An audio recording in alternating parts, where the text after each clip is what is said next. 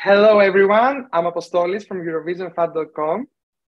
Hi, I'm Apostolos, and here today is Gala. nice to Hi, meet you. Nice to meet you. Very nice to meet you too. Thank you for having me. How are you? I'm doing very good. Um, I'm very, I feel very blessed and grateful for all the support I've been getting from everywhere. It's amazing. Um, I'm doing good. I have exams at school right now, so I have to study. Um, but everything's going well. The sun is shining. Yeah, How old are you? I'm 17. Ah, you're so young. you're so young. Uh, so this year you're taking part in the national final for Belgium. Tell us more about the decision to participate. So um, there was an open call, and um, the label was like, Gala, are you interested? Um, you can send some demos, and maybe you can go to Eurovision. And then I thought about it, and I was like, that's not a bad idea. So I sent in the demos, and they like it. That's how it went. So So- you're participating in the national final with two songs. Uh, would you like to tell us uh, the meaning behind the songs? Was written especially for Eurovision, both of them? Um, it was not written especially for Eurovision. These were both songs I wrote when I was 15. So I've I've had them for two years, um, but we never really had the opportunity to release them. It was never the right moment, you know. But now it felt like the right moment to give birth to the songs. Um, yeah, but we had them for two years, but they fit for me. They fit perfectly in my image and the Eurovision. Mhm. What is the message behind them?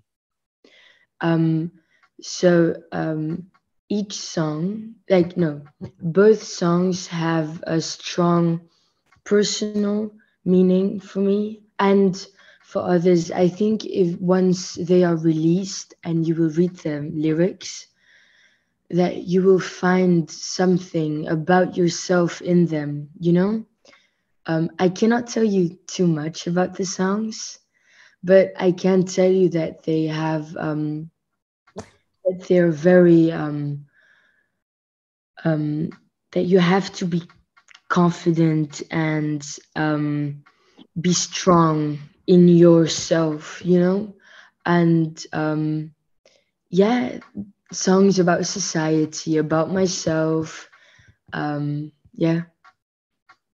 And because we are fans of both of your songs, we love them both so much. From what from what we have heard so far, we're waiting to hear the whole songs. And but do you have a preference between the two songs? Is one of them stand out to you just a little bit more, maybe, or you feel the same about both of your songs? Hmm. It's difficult because I they were both my babies and I Yeah. love them so much. Um, and it's really hard for me to choose because I like both of them. Um, but I think I have a preference maybe for T'inquiète just because you have beautiful strings and um, I think that it's more Eurovision-ish. Um, I don't know. You'll see. We'll see. We'll both see. This year, uh, Eurosong has many good artists. Uh, do you have uh, as one uh, favorite song from the other participants? Ulala from Hunter Falls, Okay. nice song. But then also um, Drive a Nail Through Me from Steph Gustaph, I also like. Um, Nice. Yeah, Shirin also has nice songs. They all have nice songs. Mhm. it's difficult to choose this year. And also, some years ago, you were participating on The Voice Kids, right? Yes, I won The Voice Kids in 2020.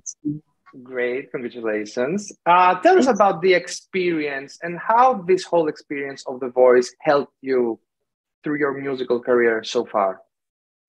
Well, it really helped me. It, it was a great experience and it helped me to realize that I love music and that I want to get serious about music. You know, I've always loved music and I've always known that music would be a part of my life. But I knew it, but I didn't know it. You know, it was like music is important for me. I love making music. I play piano, I sing. But it was never clear. And that moment, winning the voice kids was a light shining and saying, I want to make music my whole life. So I know that next week uh, you will be in the festival in Albania, and mm-hmm. I know that you have Albania roots too. Would you like to tell me about that? Yes. So my both my parents, my mom and my dad, are Albanian. Um, so I do. I speak Albanian as well. Um, I think they came in Belgium maybe 20, 25 years ago. Um, I also go back to Albania from time to time. I love going to Albania. And fun fact, a very big part of my family also lives in Greece. Oh, and, nice. Yeah. And um, my parents have lived in Greece as well, so they both speak Greece, Greek. And um, my brother is born and raised in Kastoria in Greece. Nice. And you come here for vacations in Greece on the summer? Yeah, yeah sometimes I come. I go to uh, Kalkidiki, Thessaloniki often because I have family there. Um, yeah, so you're talking to two guys from Thessaloniki and Halkidiki right now. Yeah, we can relate. We can relate. I love it there. Oh my god. Um, I remember when I went there, we did like the whole like finger, and I loved Vourvourou Beach. Oh my yeah. god. Yes. but everything, everything there. Ah. So we're waiting for you in Greece this summer in Thessaloniki and Halkidiki yeah. to to meet. yes. No, it's about it. I'm serious. I think I'll go to Greece this um this summer break. So we'll see each other if you want. Hope We're waiting for you. We're waiting yeah. for that. So um, let's talk about uh, Eurovision. What is your favorite entries in general? From Belgium, from Greece, from Albania, whatever you want. Um, I think my top one favorite entry was Måneskin. Dite okay. Buoni, that song, I love it. I love Måneskin. But also uh, Portugal in 2017. I forgot his name. Wait, Portugal. Salvador Sobral. Yeah. Oh my God, it's such a beautiful song. These two are my favorite entries ever. And before we come to an end, uh, we would be very happy if you could sing us just a small, small part of one of your songs. Is it okay? okay. Of course. Whoever song do you want of them, uh, we just want to hear you sing. okay. Okay, I'll, I'll sing the piece you've heard. Devoted to my own peace, why ask for more? I seek your devotion.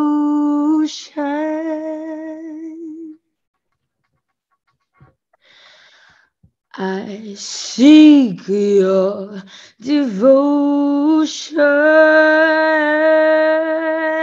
And I seek your devotion.